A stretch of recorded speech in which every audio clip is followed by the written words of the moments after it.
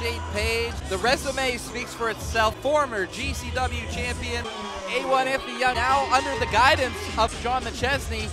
Rickey Shane Page now. Look at the agility of this man, but oh, stopped at that drop kick. This is the clothesline. Hook, Corona, and a beauty. Goes. Oh, suicide dive, but look at the power and tenacity and just bounces right off Yeah, the apron. look, like you said, he's seen everything. He has been everywhere. Back, I, I saw that backbreaker earlier. Has him in. Oh, good. God. Up, just tosses him. In a hardcore environment. Oh, my And that's why I picked something different. Oh, he's going for that leg sweep. That was oh. that's different. Can't go normal. He's got to do something different like that. Oh, Perfect. Has him up.